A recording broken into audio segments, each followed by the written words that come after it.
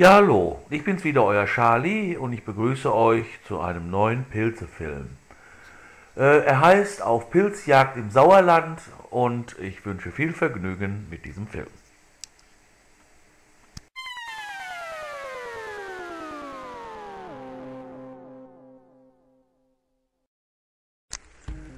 Natürlich äh, ist auch mein Trüffelhund wieder dabei, der kleine Flo. Und dann schauen wir mal. Ja, dieses hier ein Buchenbestand. Da wollen wir mal zuerst ein bisschen prospektieren und mal gucken, was wir da finden. Dies hier ist ein Hexenei. Daraus kommt eine Stinkmorchel. Die ist übrigens essbar. Das Hexenei ist essbar. Obwohl äh, für mich nicht. Also ich esse es nicht. Ja, hier steht ein Cluster Pfifferlinge im Buchenwald.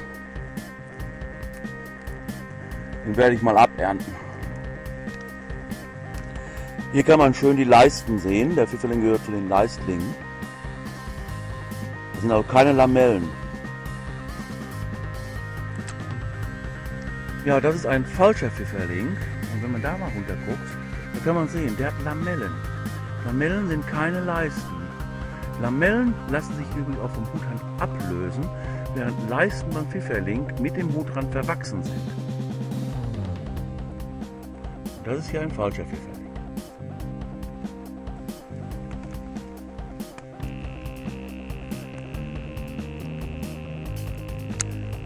So, und ganz wichtig ist, immer ein paar stehen lassen.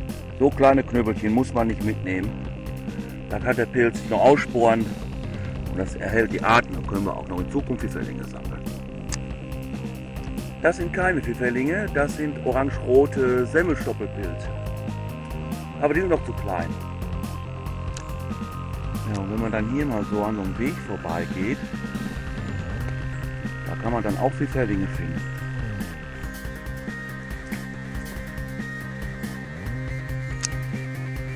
So, hier ein Täubling und in der Gattung der Täublinge, da gibt es giftige, aber auch ungenießbare Arten. Die kann man aber dann am Geschmack erkennen und zwar indem man eine Messerspitze nimmt äh, von dem Pilzfleisch, am besten aus dem Stiel, es auf die Zunge legt und dann zergehen lässt. Und wenn es dann brennend scharf schmeckt, sollte man den Pilz stehen lassen. Aber wie gesagt, das gilt nur und ausschließlich für den Täubling. Oh, ein Goldröhrling, den nehme ich auch mit. Und diesen prächtigen Scheidenstreifling natürlich auch.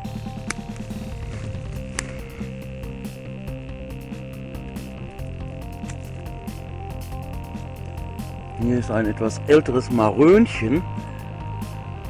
Es mal mit, man kann es jetzt auch zurechtschneiden. Ja, diesen etwas angefressenen, äh, flockenstieligen Hexenröhrling lasse ich selbstverständlich auch im Wald. In meinem letzten Film habe ich euch den flockenstieligen Hexenröhrling vorgestellt. Hier haben wir mal die andere Abart, das ist der Netzstielige. Man sieht also die Netzung äh, hier am Stiel. Ähm, dieser Pilz ist übrigens alkoholtoxisch. Das heißt also, in Verbindung mit Alkohol kann der Vergiftungen auslösen. Aber da ich ja keinen Alkohol trinke, hm, nehme ich mir den mal mit. Ja, hier steht ein flockenstieliger Hexenpilz. Ich pflück den mal. Schön ist die Flockung zu sehen.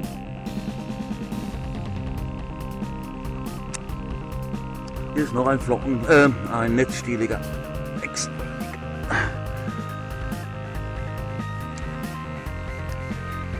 Die rote Wegschnecke lässt sich hier Schwefelköpfe schmecken. Und das sind grünblättrige, also die giftige Variante. Ja, hier wachsen wieder Täublinge. Und das würde ich mal sagen, sind Frauentäublinge. Nehmen wir mit. Und den älteren von den beiden lassen wir natürlich im Wald. Ein Marönchen. Ja, mal gucken, was das ist. Ein Champion, wieder ein Blutegerling. Und noch ein Marönchen. Oh, da schreckt ein Bock. Noch eine Hexe, diesmal ein Flockenstieliger. Ein, Pflicht, ein Fichtenblutreizker.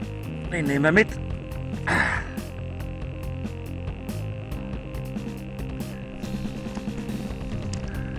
Auch hier Fichtenblutreizker.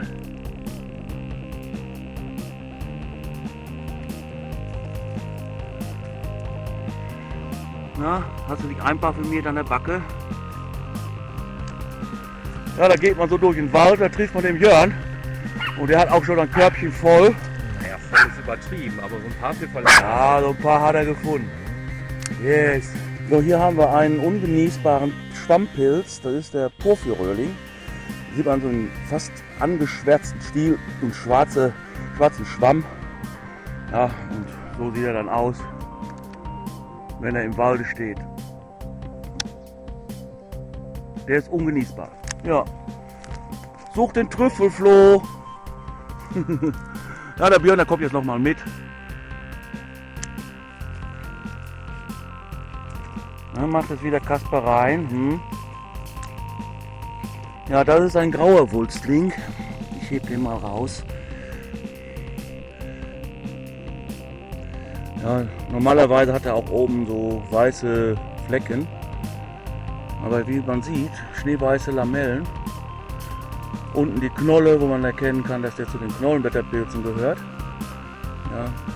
Dieser Pilz gilt als äh, ungenießbar, ähm, wird, aber, ist aber nicht giftig. Das heißt, im Krieg wurde der gegessen. Ne?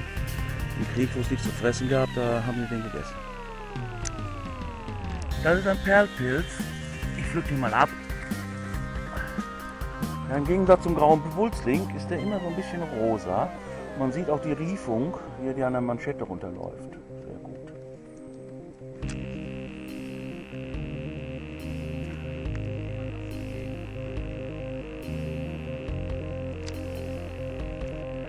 Ja, Stinkmorcheln wachsen hier.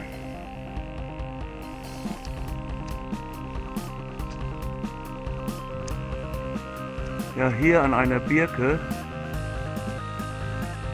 wächst ein Trupp Birkenpilze, aber die sind auch schon zu alt. Die dürfen nicht stehen bleiben und aussporen. Das ist mal sehr interessant. Wir haben zwei Binsenhalme, ein Blatt durchbohrt. So Leute, wir sind fertig mit dem Pilz zu suchen.